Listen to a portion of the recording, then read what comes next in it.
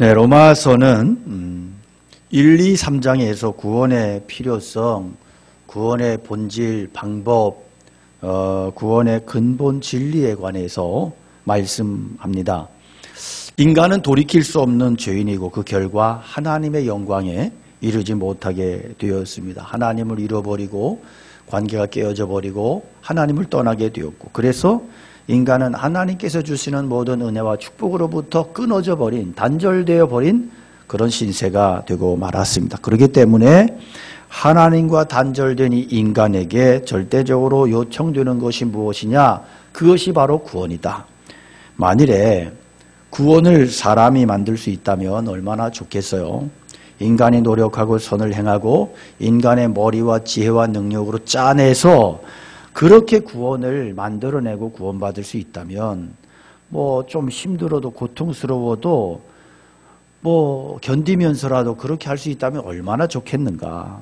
그러나 이것은 어, 절대 불가능하다. 그래서 인간에게는 구원이 없기 때문이죠. 그래서 인간이 만들 수 있는 구원이 있다면 그것은 이미 구원이 될 수 없습니다. 자, 구원은 그래서 하나님의 절대 영역이에요. 그러므로 인간이 구원 얻는다고 할 때는 인간의 노력이 아니라 하나님께서 준비하시고 예비하신 그 구원을 내가 받아들임으로써 이루어지는 것입니다. 이게 구원이에요. 그래서 구원은 믿는 자에게 값없이 주시는 하나님의 은혜인 것입니다. 왜 값없이 주시느냐? 갚을 수 없으니까 값없이 주실 수밖에 없는 귀한 것이기 때문에 그런 거죠. 자, 바울 사도는 우리 이해를 돕기 위해서 어, 이제 사장에서 구약에 아브라함을 예로 듭니다. 아브라함은 그의 선행으로 구원받은 게 아니라 믿음으로 의롭다 하심을 받고 구원을 받았다. 아브라함이 하나님을 믿으네 믿음에 그 믿음을 하나님께서 의로 여겨 주셨다. 이 말씀은 구약 신구약을 관통하는 아, 구원의 메시지의 아, 중심이에요. 그래서 아브라함이 찾은 게 아니잖아요, 하나님을. 하나님이 아브라함을 찾아오신 거잖아요. 이게 기적이에요. 이걸 우리가 은혜다 그래요. 아브라함이 어, 똑똑하고 잘나서 구원받은 게 아니에요. 어, 아브라함이 가문이 좋았어요. 아브라함의 가문은 우상의 가문이었단 말이에요. 그러니까 이게 뭐냐 하면 하나님이 그를 구원하시기로 결정하셨어요. 아브라함이 그것을 알았고 그리고 이 은혜를 그가 받아들이고 그 하나님을 믿었어요. 그 하나님의 은혜를 신뢰했어요. 이것이 구원이다. 그래서 아, 로마서 4장 마지막 부분을 보면 이 사실이 이것이 아브라함만을 위한 게 아니고 우리들도 위함이다. 그러니까 수천 년 후에 그리스로 말미암아 구원 얻을 모든 백성들에게 믿음으로 구원 얻는 것을 가르쳐 주시기 위해서 하나님께서 아브라함을 모델로 쓰셨다. 그렇게 말씀했어요.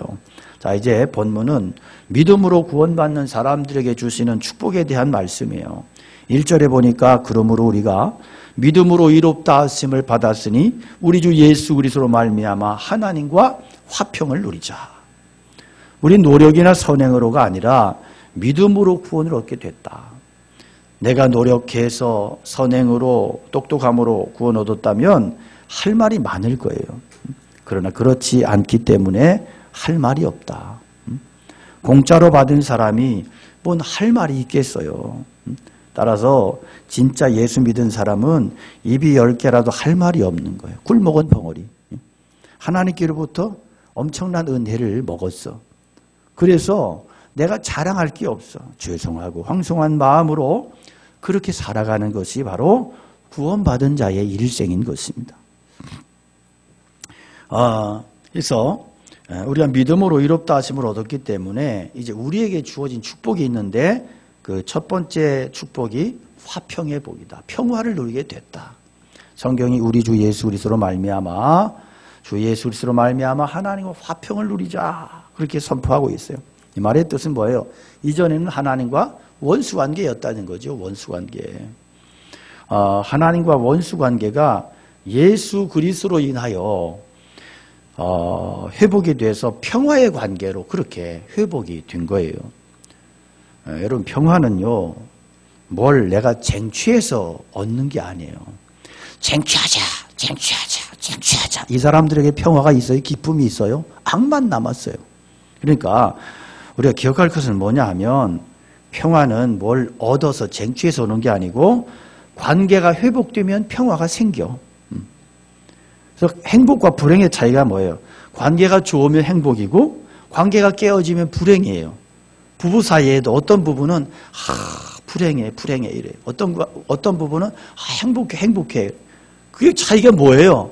관계예요. 관계에 깨어지면 불행이고 관계가 회복이 되면 행복이요. 음. 그래서 어, 이렇게 우리가 집안에서도 자식과 부모의 관계가 깨져버리면 아, 재앙이야. 자식이 속썩여. 재앙이야 이건 아주. 살 맛이 없어. 그런데 이 자식이 정신을 차렸어. 아, 천국이 된 거야. 천국이. 응? 부부가 싸웠어요. 하, 기껏 말이요. 아내가 굉장히 정성을 다해서 정말 맛있는 것을 차려놨는데 뭔가 사소한 일로 인해서 서로가 트러블이 생겼어. 남편이 밥을 안 먹어버리는 거예요. 와, 지옥이 따로 없어. 생 지옥이야. 나중에는 먹고 싶어서 못 먹어.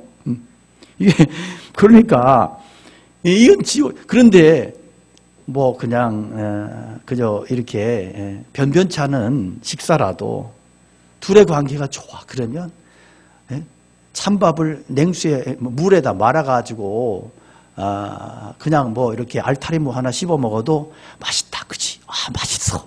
이게 천국인 거예요. 그러니까 평화라고 하는 것은 우리가 뭔가를 많이 얻었기 때문이 아니고 관계 회복의 결과다. 그런 의미에서 평화는 부서졌던 것이 회복이 되는 거예요. 뒤틀려 있던 하나님과의 관계가 제자리를 찾는 것입니다. 이 세상은 평화롭지 않습니다. 국가를 봐도 그렇고 참 나라가 걱정이죠. 네, 걱정이에요. 네. 회사를 봐도 그렇고 집안을 봐도 그렇고 음. 하나님의 교회 안에도 가만히 보면 참 어, 어, 그런 얘기 하잖아요. 신자들 세 명만 모여도 긴장이 흐른다고. 이런 얘기 왜 생겼어요? 다 불편한 거예요. 평화가 없어요. 나름 돈도 있고 힘도 있어도 마음에 평화가 없어. 왜? 마음의 관계가 뒤틀려 버렸어. 하나님과의 관계가 뒤틀려 버렸기 때문에 평화가 없고 사람들과의 관계가 뒤틀려져서 그래서 평화가 없고 속고 속이고 죽고 죽이고 겉으로는 웃는데 뒤에서는 칼을 꽂아요. 저는 이게 정치를 참 싫어해요. 교회 안의 정치도 제가 싫어해요. 왜 싫어하냐 하면 정치하는 사람은 정직하지 않더라고요. 분명히 저 사람이 나를 내, 나한테 표가 없어. 그런데 딱 아, 속으로는 그래서 아, 저놈 때문에 저놈이 내 표를 몇 개를 가지고 가, 뺏어갔어 막 이러고 막 욕을 해요. 그런데 막상 나타나잖아요. 아, 태어나셨습니까? 이, 래요이 짓을 해요. 그리고 뒤돌아서 저 자식 때문에 내가 아, 스트레스를 받는다고. 아 이러니까 뭐 세상 정치든 교회 정치든 똑같아. 정치, 오죽하면 정치인이라 그럴까요? 정치인. 그러니까 이 정치판은 아유, 뭐 정치판 개판이라 해서 걔들이 분노한대잖아요. 니들이 우리를 뭘로 보냐 그러냐니 정치 정치는. 그러니까 이 모든 관계가 말이요 다 뒤틀려 버린 거예요. 진실이 없어져 버리고 거짓만 남은 거예요. 세상은 평화를 잃어버렸어. 그런데 그런데 가장 큰 관계는 심각한 문제는요 내 자신의 관계예요. 우리는 내 자신하고 별로 친하지 않아요. 내가 내 자신을 학대하고 미워해요. 예. 그래서 요즘 젊은 아이들 보니까 그런 얘기 많이 하더라고. 하, 내가 오늘은 수고해서 나를 위해서 보상을 해줘야 돼. 그러면서 자기 혼자 비싼 거 혼자 가서 먹고 오더라고. 근데 저는 그런 거 필요하다고 봅니다. 예. 자, 자존감의 회복을 위해서. 근데 옛날 어르신들은 이게 자존감이 없잖아요. 왜? 자식을 위해서 매일 희생만 해서 자기를 위해서 돌볼 시간이 없었어. 그래서 이 심령이 피폐해져 있는 거예요. 늘 우울하고 힘든 거예요. 이게 불쌍한 거예요. 그러니까 자식들이 잘해드려야 돼. 음. 그런데 이렇게 자기가 없어, 자기가. 마귀는요, 항상 우리 마음에 늘 이렇게 어, 이 어둠을 뿌립니다, 어둠을. 뭐, 우울감, 죄책감, 분노, 자괴감에 빠지게 만들고, 자학하게 만들고, 아, 난, 나는 쓰레기 같은 놈이야. 이러고서 자기를 학대하게 만들고. 그 결국은 뭐예요? 그 결국은 멸망이고 죽음이요. 예. 어둠의 구렁텅이로 끌고 가는 거예요. 이게 하나님을 떠난 인간이 맞닥뜨린 불행이에요. 사람은 스스로 지어짓고 하나님 멀리했습니다. 하나님 거부하고 거절했습니다. 하나님을 거부하는 인생 행복하지 않습니다. 하나님을 거부하는 인생의 근본의 평안이 없습니다. 이게 아, 이렇게 하나님을 거절하면 하나님뿐만이 아니라 하나님께서 우리에게 베푸시는 은혜도 축복도 다 거부하는 잃어버리는 상실하는 결과를 낳는 거예요. 하나님 잃어버린 인간에게는 항상 고독이 차지하고 분노가 불행이 이렇게 미움이 저주가 어, 그렇게 존재하는 거예요. 하나님 잃어버린 것은 내 생애의 한 부분을 잃어버린 게 아니고요. 전부를 잃어버린 거예요. 그러므로 하나님을 다시 만났다. 하나님의 관계가 회복됐다고 하는 것은 내 인생의 한 부분이 회복됐다는 게 아니고 내 인생의 전부가 회복됐다는 말이에요. 그러므로 이제 믿음으로 예수님을 주인으로 영접한 사람은 항상 내 의식 속에 하나님의 인정하신 의인이고 하나님의 자녀요 하나님과의 관계가 회복되었음을 인식하며 살아가는 거예요. 이게 믿음으로 의롭다 하심을 받은 구원받은 사람들에게 부어진 첫 번째 축복인 것입니다. 그래서 구원의 특징은 평화다, 화평이다. 그래서 내일 전쟁이 일어날지라도 감옥에 갈지라도 내 상황이 어려울지라도 죽음이 나를 기다리고 있다 할지라도 하나님과의 관계가 회복된 사람은 마음에 깊은 안심이 평안이 있는 거예요. 우리에게 이러한 회복이 이러한 은혜가 있기를 축복합니다. 자, 목사님으로 평생을 사셨던 한 아버지가 아, 임종의 순간에 자식들에게 참 좋은 선물을 남겼는데요. 암으로 투병하시던 중에 예, 이 목사님이 이제 하나님의 때가 이른 것을 알았어요. 어, 그래서 이제 자녀들에게 주사와 약물 투여를 예, 그만해라. 예, 어, 그렇게 중지를 시키고 그리고 어, 자녀들에게 성찬식을 준비하라고 목사님이니까 이제 마지막을 이렇게 부탁을 했어요. 가족들이 이제 곤혹스럽고 당황스럽고 그렇지만 아버지가 이제 어, 얼마 남지 않은 상황 속에서 말씀을 하시니까 부탁하니까 그래서 이제 급조해서 성찬상을 준비를 했어요. 그런데 성찬상을 준비했지만 어, 이 얼마나 이 분위기가 안 좋습니까? 우울해요. 침울하고. 어, 그래서 야 이게 이제 아버지가 이제는 정말 마지막으로 마지막으로 이렇게 마지막에 몸부림이신가 보다. 목사님으로서 마지막에 몸부림이신가 보다. 그렇게 가족들이 느끼고 이제 분위기가 아주 침통해졌습니다. 가족들의 성찬을 위한 떡과 포도주를 준비하고 자리를 정돈하고 그러고 나서 이제 병상에 누우셨던 아버지 목사님께서 짧게 이제 이게 힘을 줘가면서 그렇게 짧게 말씀을 하세요. 성찬은 예수님 죽음을 기념하는 초상집 같은 분위기가 되면 안 된다. 예수님 죽음과 속죄의 피에 바탕을 뒀지만 예수님의 죽음은 부활로 완성되어졌다. 이제 이렇게 하고는 성찬을 성찬을 하자. 그래 이제 가족들이 이렇게 아버지에게도 성찬을 자식들도 성찬을 이렇게 이렇게 시간을 갖습니다. 아, 전부가 다 슬픔이죠, 슬픔. 이제 기도하고, 이제 에, 설교 시간도 끝나고, 그리고 이제 성찬의 떡과 포도주를 어, 돌리는데, 아, 놀라운 경험의 순간이 일어났습니다.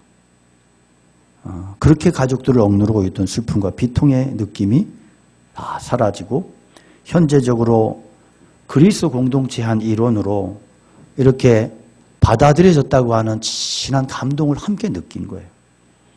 그리고 아, 예수님 안에서는 이 죽음과 삶의 차이가 없는 거다. 이런 것들이 이제 가족들 안에서 은혜로 깨달아지고 경험되어지고 병상에 계시는 아버지가 아, 지금은 병상에 침대에 누워 계신 게 아니고 주님의 품에 계신다. 이걸 같이 느낀 거예요. 그리고 아버지뿐만이 아니라 우리 모두가 지금 그리스도 예수님 안에 있는 거다. 이걸 같이 느끼고 함께 이 체험을 동시에 한 거예요. 그 함께 했던 가족들이 함께 이 동일한 체험을 하고 그러면서 평안과 확신이 가족을 감싸고 그렇게 침통했던 분위기가 감동과 감격의 눈물의 도가니가 됐습니다. 그 확신을 가지고 이들이 울면서 찬송가 351장을 목 놓아 부릅니다. 날 대속하신 예수께 내 생명 모두 드리니 늘 진실하게 하소서 내 구주 예수여 나 구주 이해 살리라 내 기쁨 한량 없으리. 내 갈 길이 인도하소서. 내 구주 예수여. 날 구원하신 예수를 일평생 의지하오니 날 영접하여 주소서 내 구주 예수여. 나 구주 위에 살리라. 내 기쁨 한량 없으리. 내 갈 길 인도하소서 내 구주 예수여. 이 목사님의 가족이 경험했던 것은 그 가장 침통하고 침울할 수밖에 없는 환경 속에서 믿음 안에서의 구원의 은혜, 그 감격을 누리게 됐다. 그래서 이 어, 목사님 가족이 평생토록 우리 아버님은 예, 내 아버님은 정말로 가장 잊지 못할 가장 귀한 선물을 남기고 가셨다고. 음? 이건 실화입니다. 여러분 오늘 우리에게 무엇이 가장 큰 선물이고 무엇이 가장 큰 은혜인지 오늘 우리 안에 이 선물, 이 은혜가 확인되어지고 누려지는 귀한 복이 있기를 축복합니다. 매일의 삶 속에서 환경이 이기게 하시고 하늘 보게 하시는 하나님의 은혜와 평강이 차고 넘치시기를 축복합니다. 자, 믿음으로 의롭게 된 성도가 누리는 두 번째 축복은요. 은혜 생활이에요. 2절에 보니까 또한 그로 말미암아 우리가 믿음으로 서 있는 이 은혜에 들어감을 얻었으며 하나님의 영광을 바라고 즐거워하느니라. 은혜 속으로 들어가는 이 구절의 시제를 보면 과거에요. 예수 믿고 구원받았다고 한 것은 이미 들어간 거예요. 이미 은혜의 자리에 들어갔어. 은혜의 자리에 들어가지 못한 분은 구원받은 게 아니요. 많은 분들이 예수 믿는다 그러는데 은혜 속에 들어가지 못하고 경계선에서 머뭇거리는 자들이 너무 많아. 율법적인 생활에 들어가 있는 분이 너무 많아. 예수 믿으면서도 마음에 평강이 없어요. 은혜의 자리에 들어가지 못해서 그래요. 이 구절에서 보면 은혜에 들어감을 얻었다고 하는 것은 과거형이고 평화를 누리자 이것은 현재형이죠. 그러므로 누가 하늘의 평화를 누릴 수 있는 자격을 가졌느냐? 그는 예수 그리스도 안에서 은혜 안으로 들어간 성도만이 이 평화를 진짜 평화를 누릴 자격을 가졌다는 거예요. 여러분 우리의 삶에 신자의 삶에 은혜가 떨어지면 마음에 뭐가 뭐가 사라져요? 평강이 사라집니다. 평화가 사라지는 거예요. 그래서 바울 사도는 각 교회에 편지 보낼 때마다 어떤 인사를 계속해요. 은혜와 평강이 너희 무리 가운데 있을지어다 함께할지어다. 음? 그래요. 은혜의 자리에 들어가는 것, 은혜 생활에 은혜 생활하는 것 이게 믿음이에요. 예수 믿는다고 하는 것은 율법과 뭐 이런 어, 어, 어, 울타리에서 은혜의 자리로 들어가는 거예요. 은혜의 자리로. 그래서 이것은 예, 비유를 한다면 어떤 안내자의 도움을 받아서 황홀한 궁전에 들어가서 차고 넘치는 대접을 받는 거예요. 그래서 어, 이, 이 찬양 중에도 그런 찬양이 있잖아요. 주의 궁전에 들어가서 그 은혜를 하, 송축할지어다. 음? 그러니까 나는 그 자리에 다, 들어갈 수 없는데 어떤 가이드가 나를 끌고 들어가는 거예요. 들어가서 보니까 엄청나. 말로 할 수 없어. 감격이야. 내가 이런 대우를 받을 자격이 없어. 그래서 주장할 게 없는 거예요. 생각할수록 황송한 거예요. 꿈인가 생신가. 그래서 누릴수록 미안하고 음?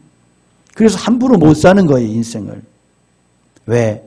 하나님의 은혜의 감격이 내 인생을 함부로 못 살게 만드는 거예요.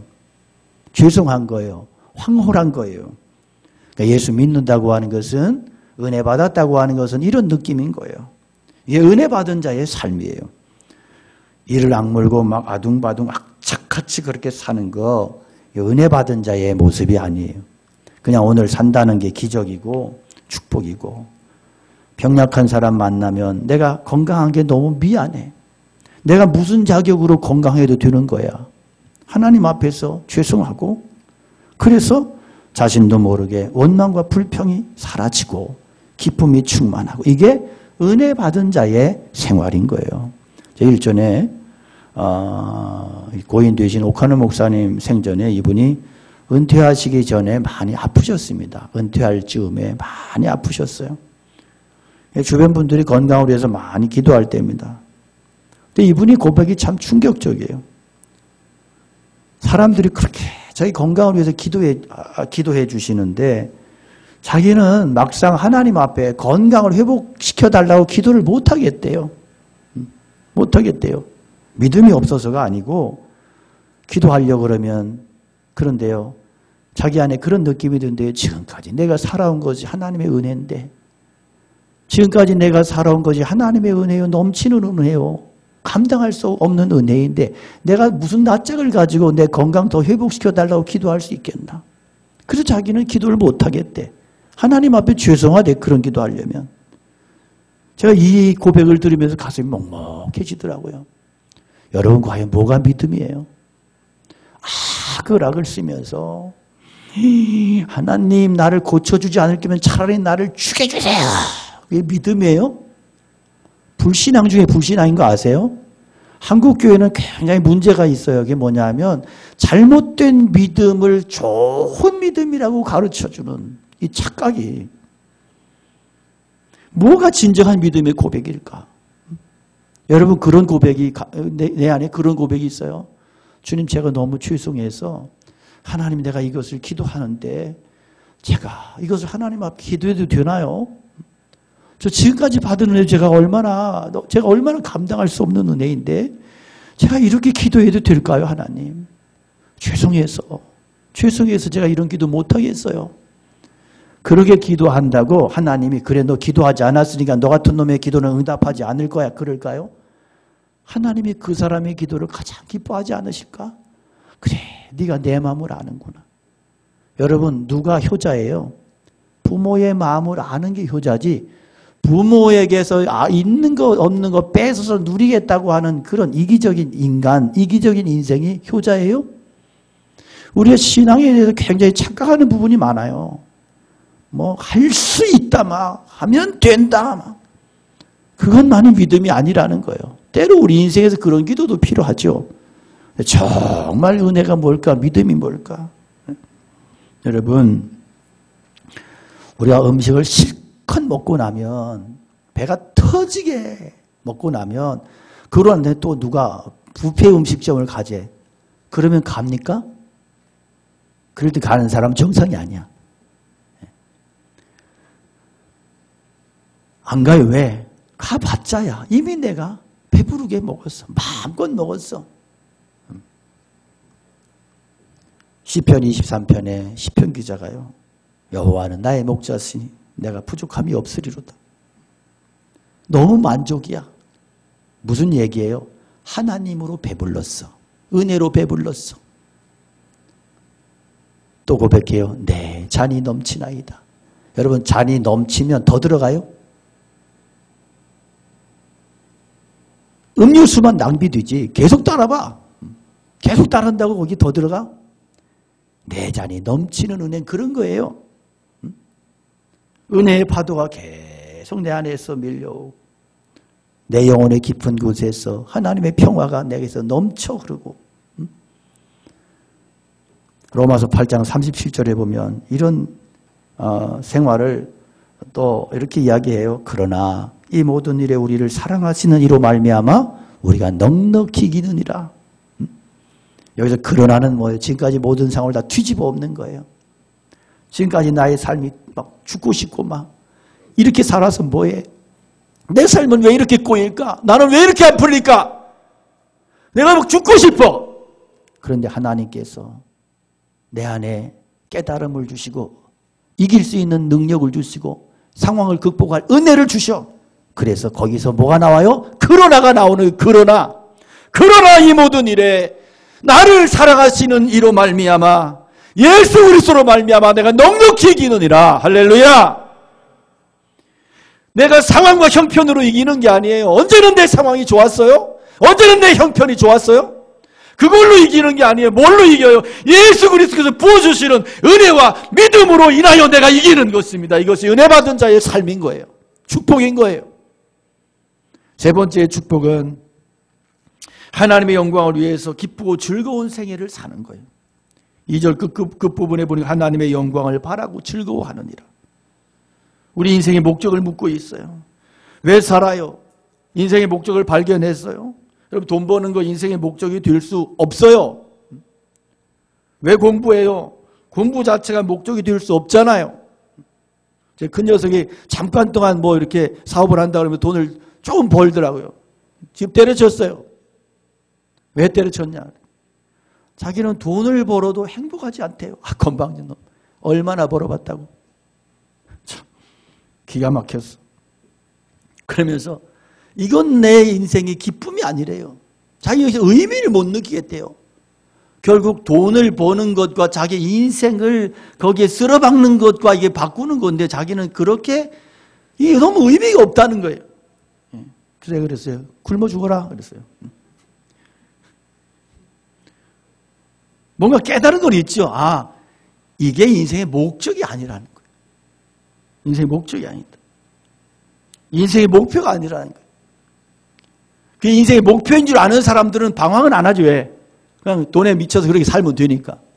그러나 이게 목표가 될 수 없는 것을 깨달을 때 방황할 수밖에 없는. 근데 뭐라도 인생의 근본적인 목 적이 어, 없는 인생은 방황하게 되어 있습니다.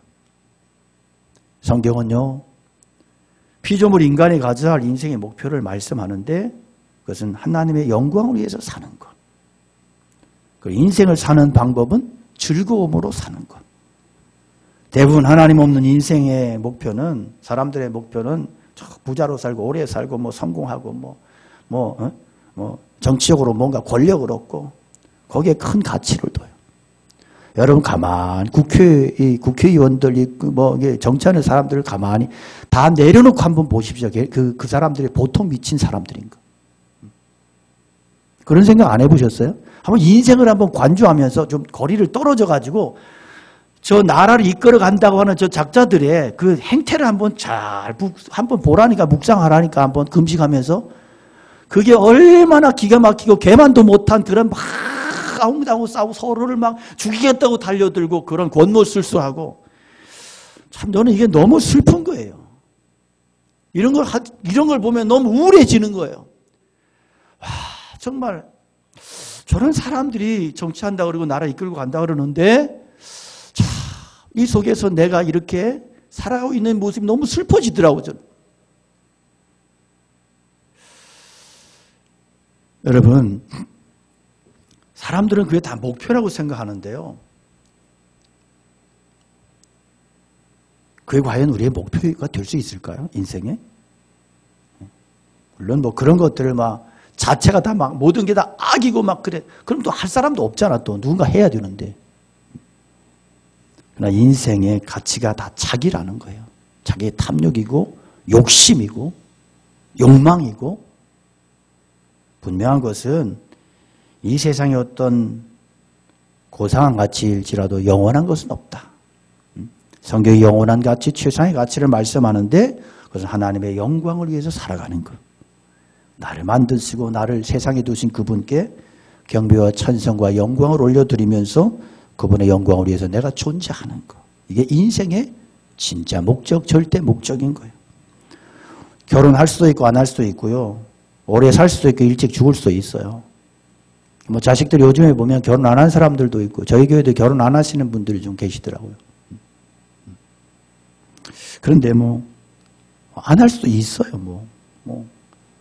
안 하겠다는데. 그 부모들은 자꾸, 그래도 해라 이러지 말아요. 그래도 해라 했다가 환란과 핍박당하는 부모가 한둘이 아닙니다. 예. 당신이 하라 그래서 내가 저런 놈 만났다고 막 얼마나 막. 음, 음. 그런데요, 그런 것들은 왜 목표가 될 수는 없어요. 공부도 하지 않을 수도 있고 할 수도 있고. 그것이 우리의 궁극적 목표가 될 수 없는 거니까. 그런데 오직 하나님의 영광, 이것이 내 생의 목표인 것이 중요한 거예요. 바울사도의 고백처럼 나의 삶을 통해서 하나님 높임을 받으시도록 그렇게 하나님 앞에 나의 삶을 드리며 그렇게 내 몸을 부숴가며 하나님을 주님의 영광과 역사를 위해서 내가 쓰임 받고 싶은 것. 내 몸을 다 들여서 그분의 영광로에서 나를 다 드리고 싶은 것. 네 번째 예수 믿는 사람의 축복은 환란 속에서도 소망으로 기뻐하는 거예요. 다만 이뿐 아니라 우리가 환란 중에도 즐거워하는 환난 인내를 인내는 연단 연단을 소망을 이루는 줄 알미라.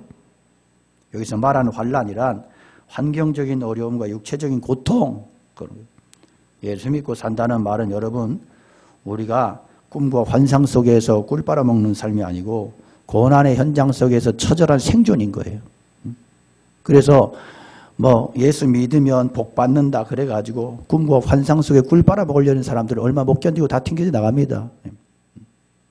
그게 아니거든. 고난의 현장 속에서 처절한 생존이요. 싸움이요. 그래서 바울 사도도 고린도후서 11장 23절에서 자기가 세상에 살면서 당했던 고난을 나열하는데 자기가 그리스의 일꾼이냐? 정신없는 말 하거니와 나도 그러하도다. 내가 수고 넘치도록 하고 옥에 갇히고 더 많이 하고 매도 수없이 맞고 여러 번 죽을 뻔하고 유대인에게 40에 하나 가만매를 다섯 번 맞고 세 번 태장 맞고 한 번 돌로 맞고 세 번 파선하는데 일주일 기품으로 지내고 여러 번 여행에 강의 위험, 강도의 위험, 동족의 위험, 이방인의 위험, 신의 위험, 광야의 위험, 바다의 위험, 거짓 형제 중에 위험을 당하고 수고하고 애쓰고 여러 번 자지 못하고 줄이며 목마, 목마르고 여러 번 굶고 춥고 헐벗었노라. 한 가지라도 있어요? 한 가지 정도 있는 분도 계시겠지만 세상의 말이요. 이 말도 안 되는 이야기 아니에요. 그런데 여러분 기억하십시오. 이게 누구의 고백이에요? 예수님의 가장 사랑받았던 자의 고백이고요. 예수님을 가장 사랑했던 자의 고백이라고요. 그러니까 꿈 깨시라니까요. 꿀 빨아먹는 거 아니에요. 제 친구 목사 중에 부동산 탐닉하는 속물 목사님 하나 있어요. 이야기만 하면 부동산 얘기예요. 이, 이 나쁜 목사예요. 아주. 저도 나쁜 목사인데 저보다 좀 더 나쁜 목사 같아 그 인간은. 동기들이 모이기만 하면 부동산 얘기를 해. 근데 그 자리에 선교사 제 친구들도 있었는데 한 분은 하, 그러고 어, 나대길래 제가 되게 뭐라 그랬어요. 그 입 다물라. 그러면 여러분 선교사들은요 준비도 별로 안 돼 있어요. 선교사 얼마나 힘들어요, 사실. 선교사 사람이잖아요. 그런 이야기를 자꾸 떠들어대면 선교사들이 얼마나 불안하고 힘들어. 예, 그랬어요. 주댕이 닥쳐라 너. 그랬어요. 친구니까. 아 이거 또이 방송에 나가잖아 또 이거 일부 예배 자꾸 막, 막, 막 녹음하니까 나 싫어요. 그래서 야 그랬어요 제가 그러고. 야, 다 죽고 나서 과연 하나님 앞에서 누구 땅덩어리가 큰지 보면 알지? 그랬어요. 여러분 인간은 다 그렇잖아요 본능적으로. 내가 편안한 집에서 이렇게 안주하며 살고 싶고 노후에도 막 하고 땅덩 떵떵거리고 살고 싶고. 본능이에요 본능. 그런데 신앙은 뭐냐 하면 본능을 내려놓고 하늘을 붙잡는 거예요 여러분 지금의 땅덩어리 놓여두지 말고 차지할 하늘의 땅덩어리 붙들고 소망하며 사시기를 축복합니다. 바울 사도는 그 환란을 겪고 이겼습니다. 죽는 순간까지 그렇게 살았고 그 길을 본인이 결정하고 선택해서 간 거예요. 바울 사도는 실력으로 봐도 얼마든지 편하게 살 수 있는 사람. 그 길을 선택하지 않았어.